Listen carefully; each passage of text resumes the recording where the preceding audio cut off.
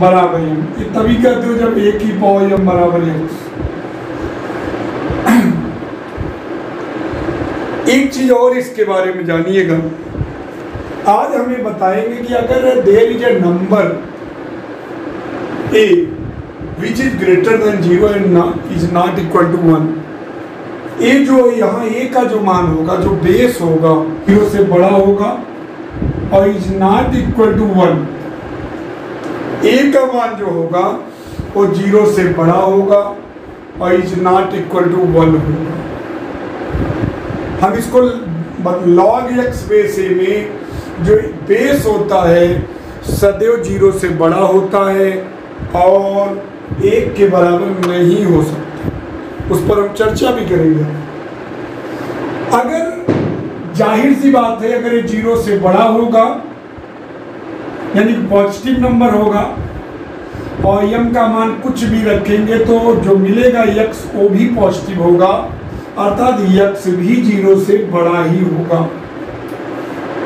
यानी कि अगर लाग यक्स बे से एग्जिस्ट तभी करेगा, जब यक्स और ए ज़ीरो से बड़ा हो, और a is not equal to one ऋणात्मक हो गया तो लॉग एग्जिस्ट नहीं करेगा। एक्स ज़ीरो हो गया तो भी लॉग एग्जिस्ट नहीं करेगा। ध्यान देना, अगर कभी भी कल्पना करो कि यक्स ज़ीरो हो जाए ज़ीरो बे से हो जाए, यम मान लो ए की पावर यम बराबर ज़ीरो ये कभी पॉसिबल ही नहीं है कि एक ए का कोई भी मान रख दीजिए ज़ीरो यम का कोई भी मान रखो यानी एक जो है ज़ीरो से बड़ा है और ज़ीरो से बड़ा है तो ज़ीरो से बड़ा अगर कोई भी मान रख दो, उसकी पावर कोई भी हो, कभी ज़ीरो नहीं हो सकता। तो ज़ाहिर सी बात है यक्स तो ज़ीरो हो ही नहीं सकता। यक्स सदैव ज़ीरो से बड़ा ही होगा।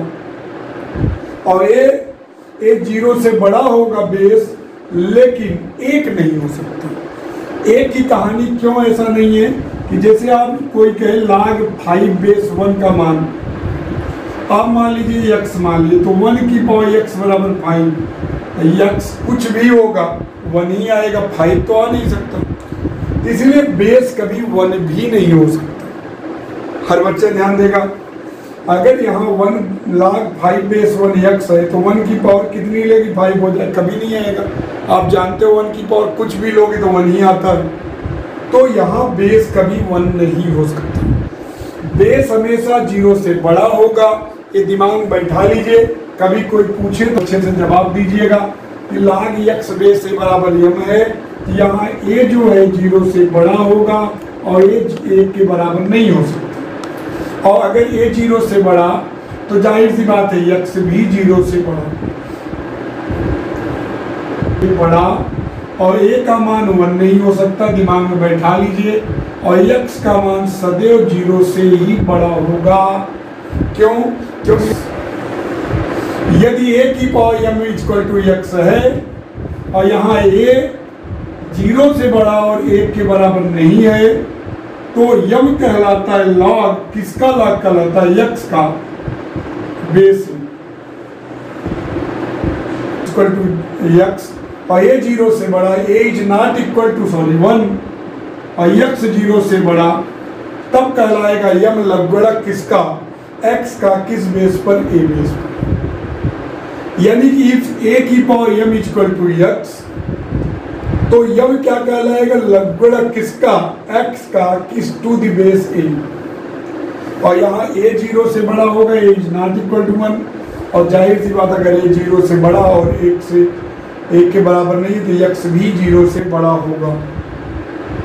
एक चीज़ दिमाग में एकदम बैठा लीजिए कि जो बेस होता है, वो सदैव ज़ीरो से बड़ा होता है, और जो बेस होता है, वो कभी एक नहीं हो सकता, और जिसका लाग लेते हो सदैव ज़ीरो से बड़ा। ये दिमाग में आप अपने बैठा लीजिए कि लॉग यक्स बेस ए तभी एग्जिस्ट करेगा जब यक्स और ए ज़ीरो से बड़ा हो। और a is not equal to x one हो सकता है, लेकिन ए वन नहीं हो सकता। जब कभी भी ये बोलेंगे, आपके दिमाग में ये चीज़ें गूंजनी चाहिए। लॉग यक्स बेस से एग्जिस्ट कब करेगा?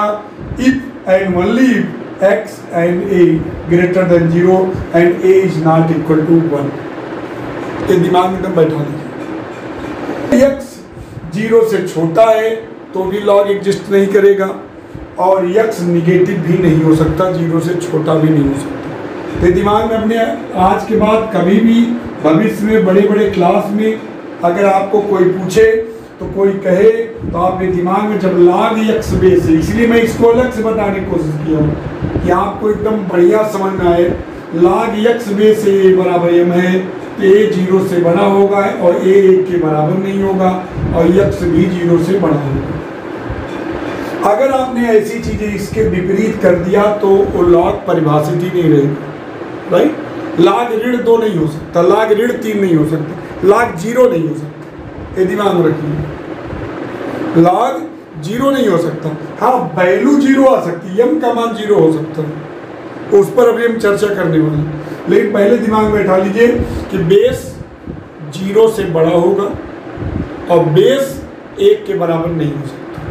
क्योंकि अगर एक के बराबर हो जाएगा, देखिए लाख दस बेस एक कर दिए एक्स तो वन की पावर एक्स बराबर दस का भी संभव है। तो पहली चीज़, क्या कहेंगे? लाग एक्स